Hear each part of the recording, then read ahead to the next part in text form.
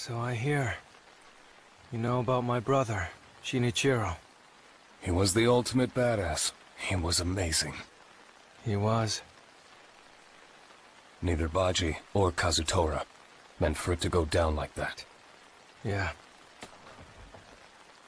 My brother's gone, and I know nothing will bring him back. But... My heart still can't accept it.